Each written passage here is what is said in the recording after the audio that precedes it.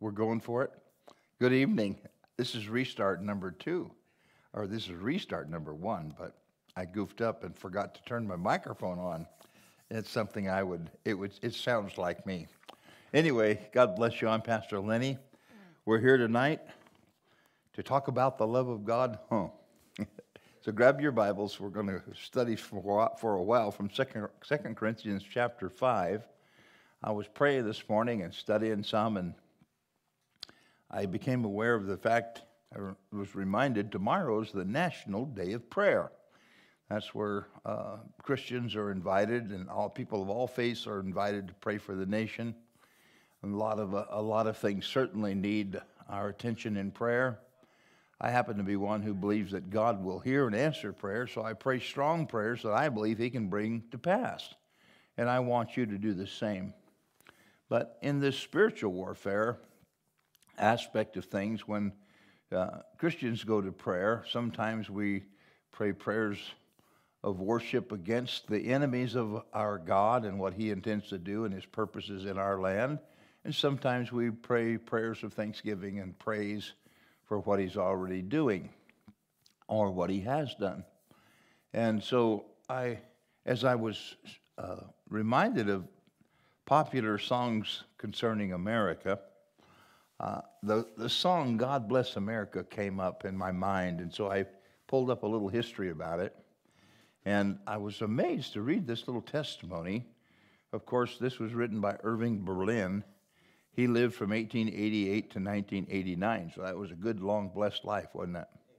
But listen to the story about God Bless America. You know, God Bless America, land that I love. It was the most famous one verse song that's ever been written. That's what I'm told. Of course, as far as humans' recording ability goes. But this little story behind God Bless America, this, this, is, this simple one verse song became an overnight hit and a hopeful song as war threatened. It's not a patriotic song, composer Irving Berlin said in a 1940 interview, but an expression of gratitude for what this country has done for its citizens, of what home really means. Today, many Americans consider God Bless America an unofficial national anthem of the United States. Now, let me read a little bit about Irving Berlin's, Irving Berlin's life and then I'm going to contrast this song to another song before I get you into 2 Corinthians chapter 5. So you just hold the mark there because we're going to get in some Bible verses in a minute. The life of Irving Berlin is a uniquely American success story. He was born Israel Berlin in the Jewish village of Tyumen in a harsh region of Russia known as Siberia. When he was about five, an anti Jewish mob destroyed his family's home, and the Berlins set out for America. They settled on New York's Lower East Side. Irving Berlin's father died when he was eight, and Izzy went to work selling newspapers to help support his family. As a young teen, he began singing in saloons and at some point taught himself piano. He began copying the musical styles of the day and developed an incredible instinct for creating popular tunes that people loved to sing. A printing error on a published piece of sheet music left him with the name Irving Berlin, and that was the name he carried as he wrote song after song. In 1911, he wrote his first huge dance hit, Alexander's Ragtime Band. That was a great song excuse me. After that, the Berlin's career took off. After that, Berlin's career took off like a rocket. Excuse me.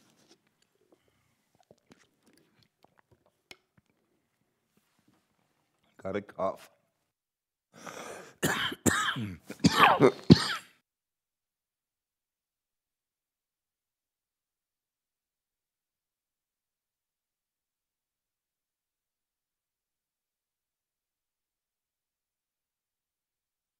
Oh, into the wild blue yonder. Help me, Jesus. Amen. Anyways, list several of Irving's songs. Oh, that were popular.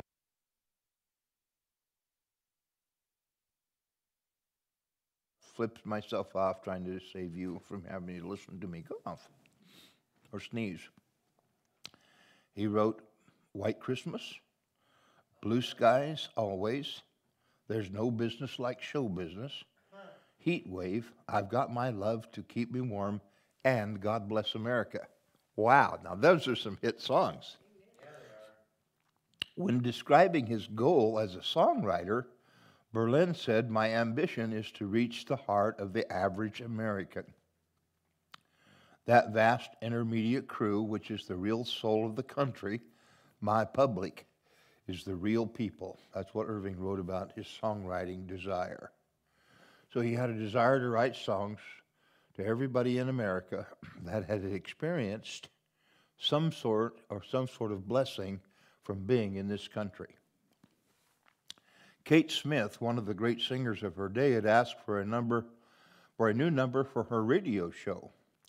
The year was 1938, and she was looking for something fresh to mark the 20th anniversary of the end of the Great War, what would later be called World War I. Irving Berlin had composer's block. Berlin felt the urgency to deliver. He recently he had recently returned from Europe where catastrophe was brewing. Nazi Germany, Germany, led by Adolf Hitler, was growing more powerful and aggressive and seemed to be preparing for war. But Berlin wasn't focused on writing a Get America Ready for War song. He wanted to create something to celebrate America as a special place to live. Then he remembered a song he had drafted years earlier. He pulled out an old trunk and dusted off the 20 year old manuscript.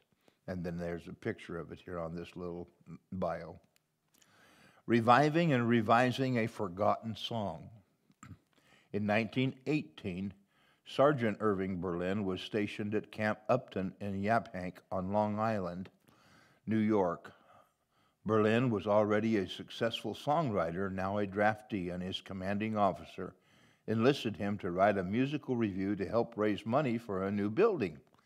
The, the result was Yip Yap Yaphank, and a light-hearted musical review about Army life featuring music, skits, and military drills. The show produced one of the hits of World War I, Oh, How I Hate to Get Up in the Morning, a comic song about a soldier's reluctance to answer reveille the Army's early AM alarm clock played on a bugle. Berlin had written another song for the review, but had cut it from the show. He thought the lyrics were too sappy, so God Bless America waited in that trunk for two decades. Then Kate Smith came calling. Now, Berlin looked over his earlier work and rapidly began re- rewriting and revising. He had less than two weeks to get it ready for her performance. Here is how the 1918 version had read God bless America, land that I love. Stand beside her and guide her to the right with the light from above. Make her a victorious on land. Make her victorious on land and foam. God bless America, my home, sweet home. Berlin knew he had to change the line to the right with the light from above. The right in politics had come to mean conservative political groups. he wanted a song that brought Americans together, not set Americans apart. And he changed Make Her Victorious since it suggested military conquest rather than the peace song he was shooting for.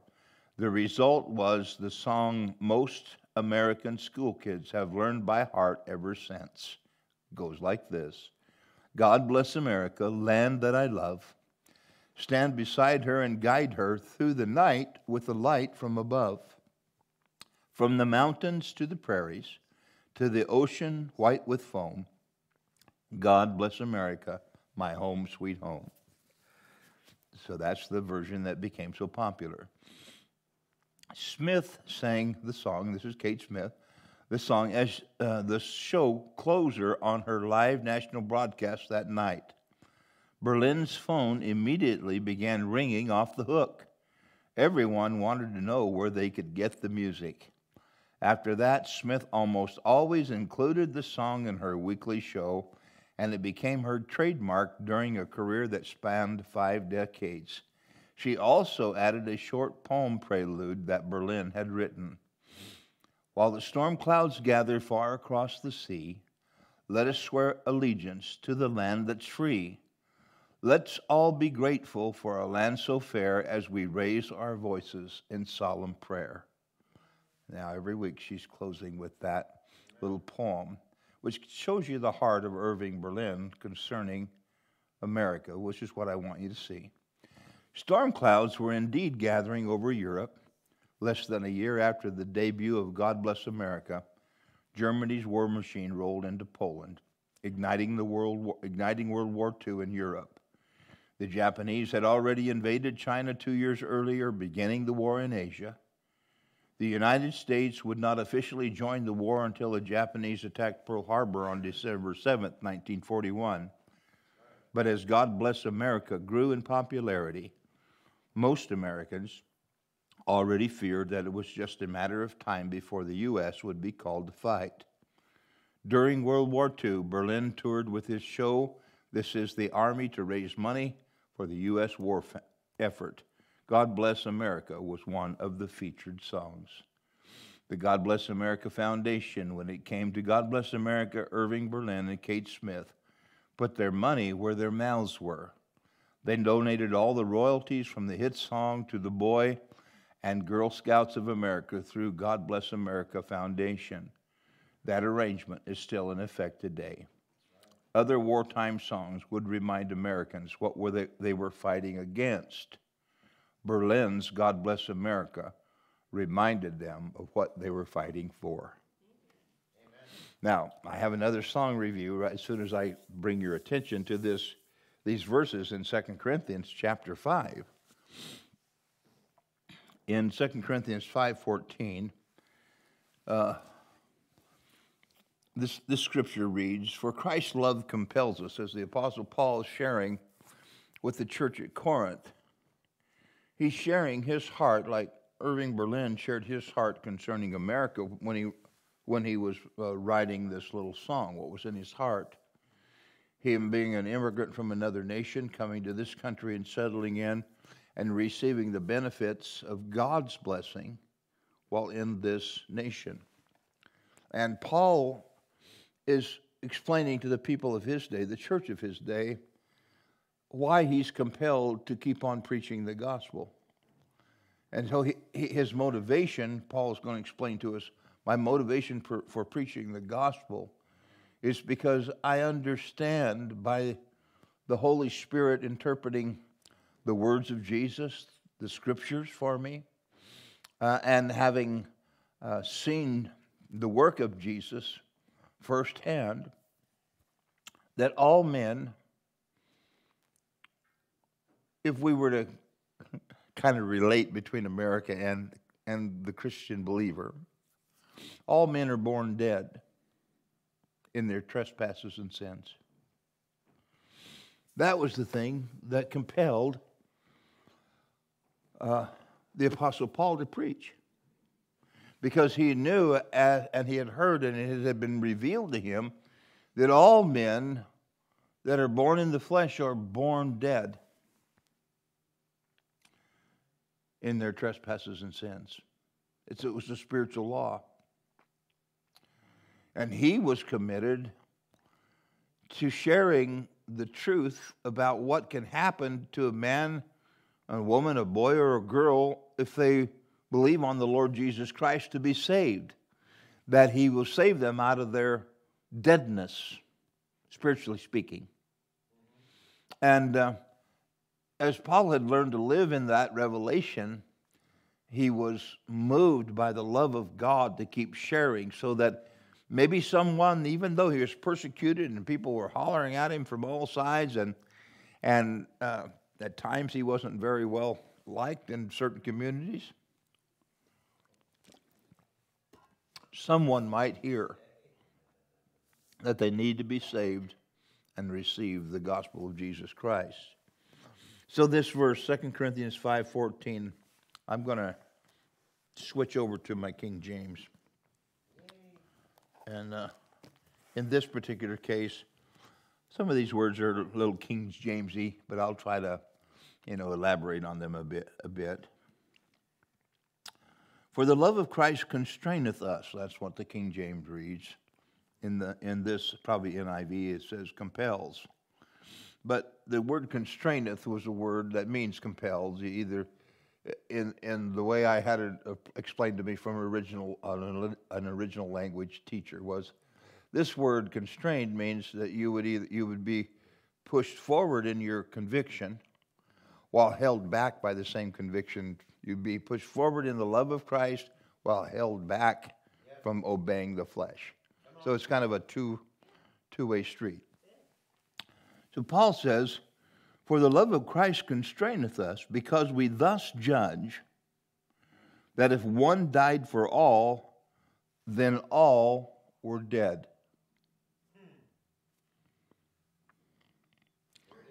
Now, see, uh, with that little precursor to that, that verse right there, you, it's just like it just sinks in deep. All are born in the flesh, they're born dead in trespasses and sin. That's what compelled Paul to undergo the hardships that he underwent so that people might hear the gospel and be saved.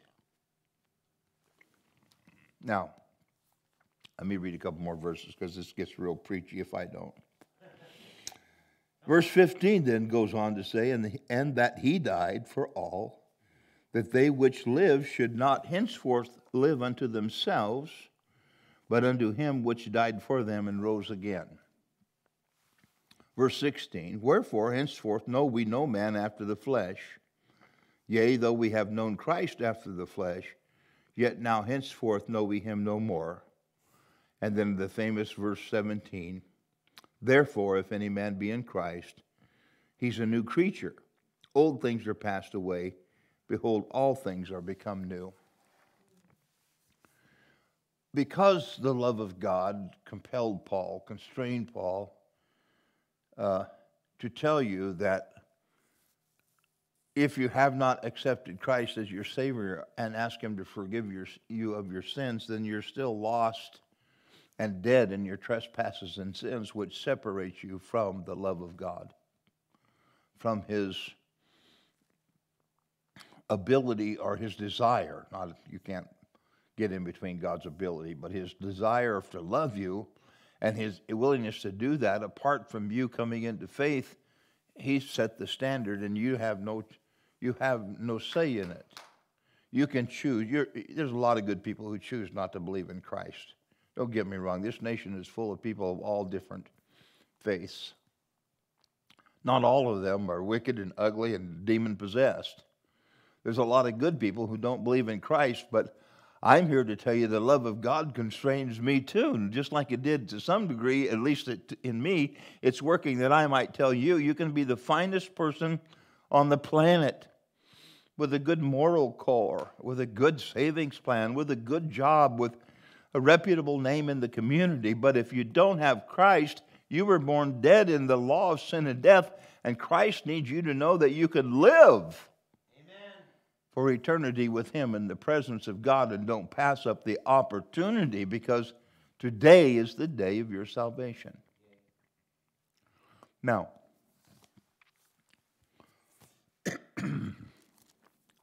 tomorrow is a national day of prayer in America.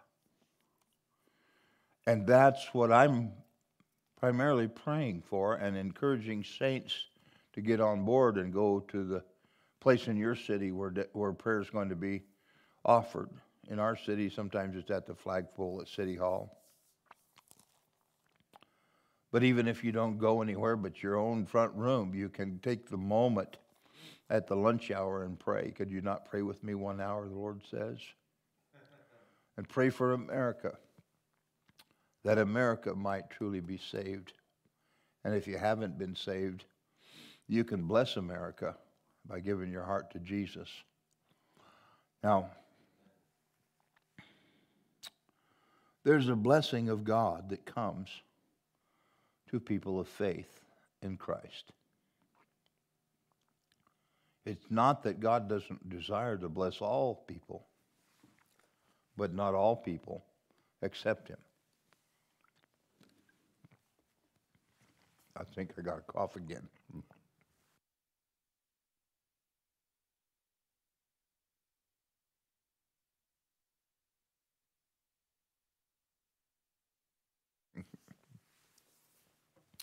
But what I want you to listen to now for the next few minutes, I got a few minutes of preaching to do yet.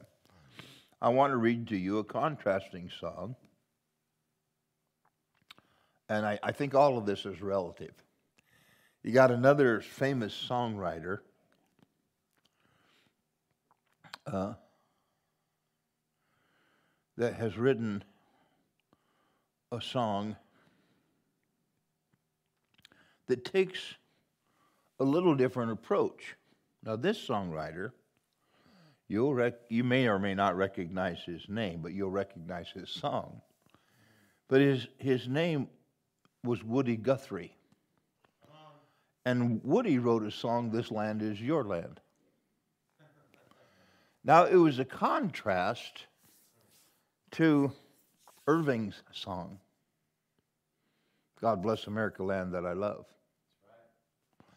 And what Woody was trying to tell the people was I've been down the roads of America. I've been on the been traveling across America on uh, you know trains, on foot, on horseback, on wagons, and I've seen the American people, and the American people aren't feeling so blessed these days. They're they're in a great, great need. Most of them have these horrible things happening in their life. and he was saying, for me to sing God Bless America, in a, in a sense, I didn't know what his life was like when he, when he moved off the planet, but during the time of the writing of this song, he was not giving, not willing to give God any glory for blessing America at all. In fact, he was saying the opposite that whatever you have, whatever you're enjoying or not enjoying, is a product of what you're doing. This land is your land, not God's land. That's what he was saying. Now, I'm, I'm going to read this review on this song, and it's not my words, it's the documentary written around this song. But I'm wanting you to, to hear me out here tonight. There are many, many good people, wonderful people, nice people, honorable people in our land that take that view. That this land is, is only what it is because we made it this way. God had nothing to do with it. I happen to disagree with that worldview. I believe that those who have entered into a faith relationship with God through Jesus Christ have His blessing upon their life. And even though they will experience hardship, they'll go through times of struggle, they'll go through times of trouble. They will wonder sometimes why they're even doing what they're doing and believe in God while they're doing it. On the, at the other end, they'll come out blessed. Amen. You will see God's glory rest upon those who have faith in the Father through Jesus Christ. Now, Irving Berlin lived a long life with blessing. He accredited it because he had faith in the God that he couldn't see. He accredited the fact that he lived in America was an act of his God. Woody, on the other hand, said, I don't see God in any of this. I see human suffering. I see humans struggling. I see humans hurting. And those of you who say you're blessed are not overlooking them. You're overlooking their need, wherein you have a picture of those who live in their humanness on the side of the suffering and the shame, and there's never enough, and things are always going against them. Those who live there, and there are many, and they would sometimes speak back into the believing side, the Christian side, and say, Well, you're not really seeing the reality that's going on behind the scenes of your wild professions and confessions of faith. But I'm here to say, don't be fooled. The believer has a blessing of God. Yes. And our faith is toward God because we've learned to love the Father with all of our heart, our soul, and our mind. And He treats us as a father, and those who are outside the family of faith are fatherless. Well, actually, Jesus said, "You're of your father. If you are a viper and wicked and evil, you're of your father, the devil." Which everyone born in the under the law of sin and death had a, the nature of the enemy and the, the nature of the flesh, the world, and the devil, the nature of destruction, hopelessness, and despair.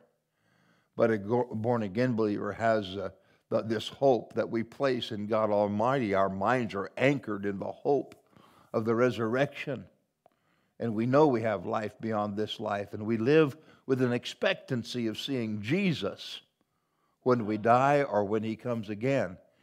And that just keeps us and compels us to keep on going and sharing and telling you that if, if you've never accepted Christ, then you're still in your, you're still dead in your trespasses and sins. And we would hope that you would reconsider your decision and face it. Ask God to forgive you and accept His Son Jesus as a sacrifice for your sin. You don't have to understand it with your head. You know it in your heart. You know I'm telling you the truth because God doesn't lie and receive his son Jesus Christ today. So, continuing on with my little, this land is your land. Here's a little piece on that song. Let's see if I can find a place to start.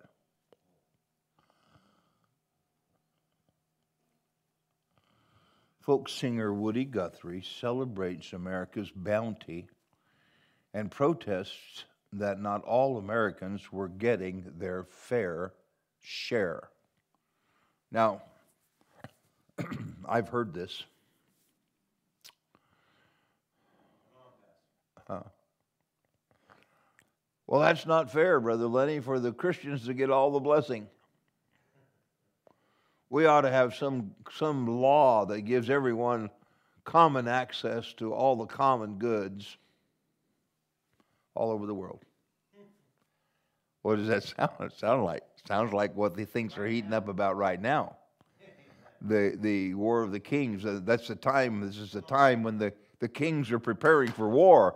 They're uh, rattling their swords, they're blowing their horns, they're uh, declaring their declarations because they want Americans and the rest of the free world to share their part with them without ever having given thought to the fact that God has blessed those nations whose God is the Lord. Amen.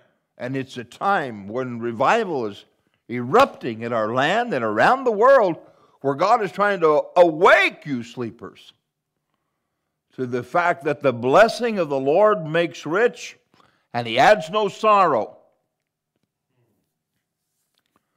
And if someone's not getting their fair share, then those who say, Pastor Lenny, you're rubbing the cat the wrong way. I stand with Pastor John Osteen. Let the cat turn around. You need to turn your life around talking about this land is your land.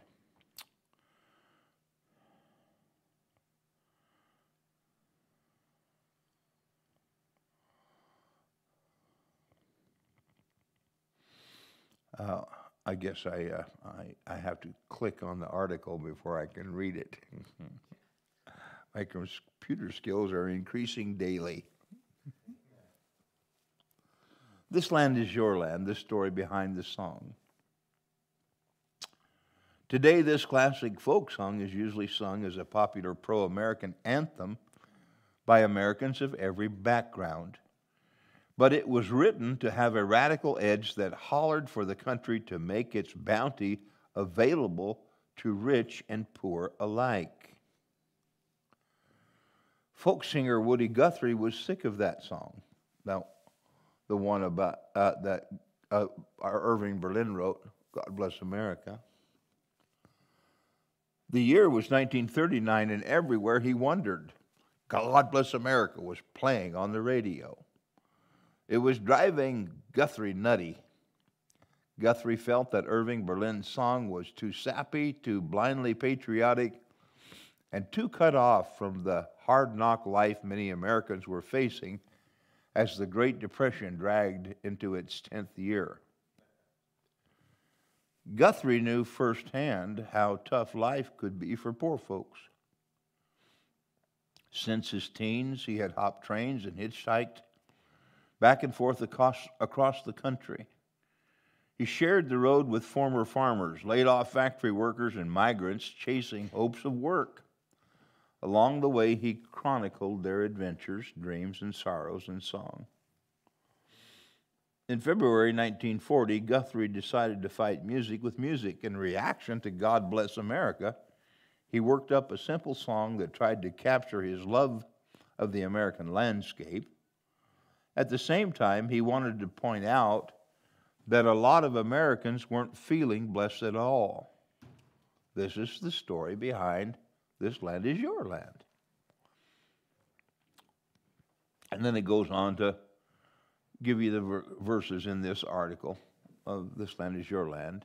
This land is my land from California to the New York Island. From the redwood forest to the Gulf Stream waters, this land was made for you and me. As I was walking that ribbon of highway, I saw above me that endless skyway.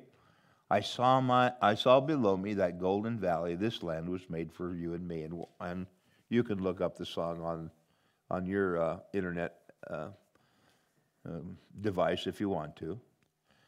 But for the sake of time, I want to read on. Wood, uh, Woodrow uh, Wilson Guthrie was born in the small town of Okemah, Oklahoma on July 14, 1912. Named for the soon to be elected Democratic candidate for president, Guthrie remembered an early uh, boyhood full of music, singing, and plenty of pocket money. His dad was a successful real estate wheeler dealer. The Guthries were the first people in town to own a car. Tragedy and trouble began to mount after 1919. Guthrie's sister died in a fire and his dad's business collapsed. His mom had a nervous breakdown and he was committed to the state mental hospital. He and his brother were left, be, left to fend for themselves the teenager began to travel the country, strumming his guitar and singing for coins. As he wandered, he became increasingly critical of the injustice he associated with American capitalism. He was drawn toward the plight of American workers and embraced socialist beliefs. During World War II, though, he served in the Merchant Marine and U.S. Army. He entertained sailors and troops with songs blasting fa- fascism, the brutal nationalistic system of government operated by Germany's Adolf Hitler and Italy's Benito Mussolini. Guthrie viewed folk music as a potent means of protest.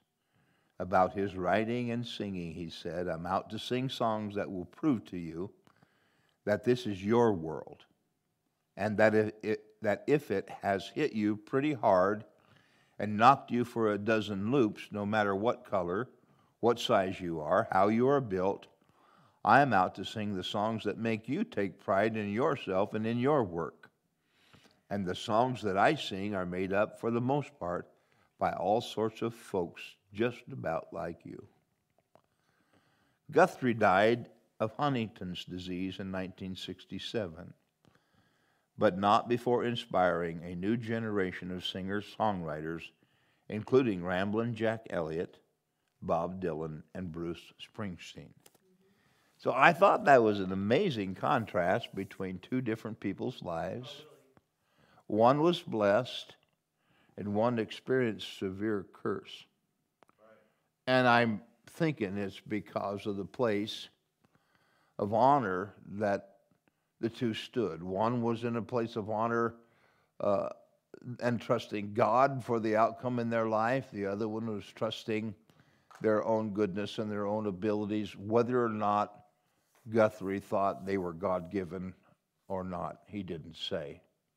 Usually, if a man has faith, he'll say, I have these gifts, I have these talents, I have these abilities because God put them within me to make my own way in this that He's given me as my inheritance as I'm granted permission to cooperate or co work with God in His domain. Now, tomorrow, as we're praying for our country, we still have this same battle going on between the good, the bad, and the ugly. And I would that God would move upon America and lift people out of the poverty of sin, the hurt and the woundedness of damaged souls and emotions caused by a wicked and evil enemy. On the death side of the life cycle, living under the law of sin and death for God to do that, He would want you to be saved. He would want you to acknowledge Him as your Father and thank Him for sending His Son, Jesus Christ, to die for your sins and my sins. For if one died for all, then all were dead. And our obligation as Christians to our Father is to say, people, whether you're on the the poverty side of life or the hardship side of life or in moments in your life where nothing seems to be going right, Jesus is still the answer.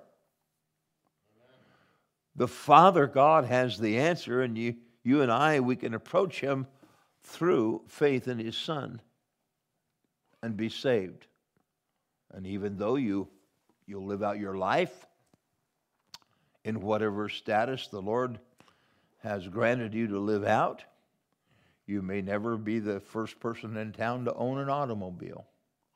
You may not ever be a wheeler dealer real estate tycoon, but you could very well be the individual who gave your heart to Jesus Christ, began to embrace God the Father and love Him with all your heart, soul, and mind so that your life was transformed. And at the end of your day, you can say, I've, I've had a blessed life. God gave me great grace and great mercy that I might fulfill His will and His purpose by coming to Christ, making him known throughout my life as the God and the Savior of my soul. I love him so. So that's what I came to tell you tonight. Pray for America tomorrow. As things are heating up with these various threats of war that are on the horizon, don't live in fear, but live in faith that God could resolve this thing until the time of the earth is done. He step in and intervene for us. I'm believing He will. Our national leaders would have wisdom. If they're not going to yield to God's wisdom, then God would do something to um, uh, intervene on our behalf and uh, you know move things out of the way so He can move things in to position con- that that are willing to faithfully commit and and submit to God Almighty. In the meantime, Trust God. Trust Him at His promises. The promises of God, the Scripture said, are yes and amen, but they're only yes and amen to the believer. I looked up a verse. I think it's in John. Last, ha- yeah, it's the last ha- uh, chapter of John. I'll close with this. Let me turn over there. I got a few minutes left in this preaching session. Let me see if I'm right.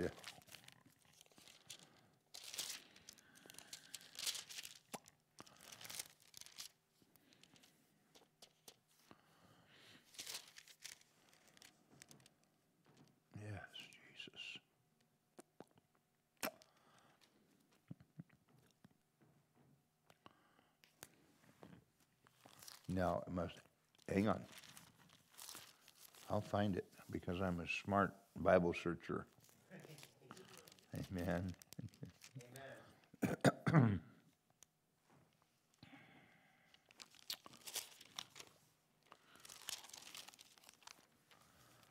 uh, there's a song written about it. That's the reason it came to my mind. But it's where it might be the, the last part of Luke, where Jesus came after his resurrection. He spoke to his disciples, and he said, All authority has been given unto me in heaven and in earth. Go ye therefore and teach all nations, baptizing them in the name of the Father and the Son and the Holy Spirit, and these signs will follow them that believe. They'll speak with new tongues. They'll uh, do all sorts of wonderful miracles and signs and wonders will follow those who have believed. There, it's in Mark, the last chapter of Mark. Thanks, Kevin. I'll go over there and read it exactly as it is because I kind of lamely quoted it. I got tickled at it. One of my friend's grandsons said, Last Sunday night, Pastor Lenny didn't preach from the Bible. That was the Sunday I was exhorting on the ministry of helps. And I told Grandma, I said, You tell him he was good. I, he's reminded me to stay in that word. Mark 16, not 19. Sorry about Martin 16? Okay. Well, gosh, you're right, because I'm, I'm sitting right there. Anyway, this grandson was reminding Pastor Lenny to stay with the Bible. I thought, well, that's pretty good, Grandma. You're teaching that boy to be observant. But I took a night off from preach teaching to exhorting uh, Christians to do what they've already been taught to do. That's what was my emphasis on the last Sunday night that I preached. Anyway, here in uh, Mark 16, verse 15, Jesus is going to speak to these disciples after he appeared to them. Go ye into all the world and preach the gospel to every creature. He that is believed, he that believeth and is baptized shall be saved, but he that believeth not shall be damned. And these signs shall follow them that believe. In my name shall they cast out devils. They shall speak with new tongues. They shall take up serpents, and if they drink any deadly thing, it shall not hurt them. They shall lay hands on the sick, and they shall recover. Now, you can use other translations to interpret those various acts of faith that people were doing. We don't go around handling snakes around here, but if we happen to run onto one, we're going to shake it off in the fire, just like John did. And then, verse 19 is what I wanted to spend the night, a, a little bit of emphasis while we close tonight. So then, after that, the Lord had spoken unto them. He was received unto heaven and sat on the right hand of God. And then, verse 20, and they went forth and preached everywhere, the Lord working with them and confirming the word with signs following. Amen. Now, I want I, what, what what I was thinking when I was remembering this verse this morning in my studies was here I've contrasted these two songs. One from a, an apparent man who had faith in God, and one who had faith in man, even though he considered himself to be blessed and was, I'm obviously a good man. But his emphasis Guthrie's emphasis was more on this land is your land. And our other author emphasis was more on thank God that you allowed me to live in this land. Right. Now, one man is saying on the negative side of this, you know, this comparison here, you're you're responsible. You go, whatever you have, you did it. Oh, I, I wish I could tell you a story. There's nothing wrong with acknowledging, you know, that you've accomplished something or your parents have accomplished something and you're proud of them and affirming them in positive ways. But to say that you did it on your own, and I've had, oh my goodness, I can't tell you how many times I've heard that well, I've got all this because I, I did this. I have everything I have because I worked my rear end off, so to speak. You know, they Don't necessarily use that word, but It's by the sweat of my brow that I have accomplished these things. On the other hand, there's no less work and there's no less effort applied in the work of these other men and women's hands, but they're attributing the success to God.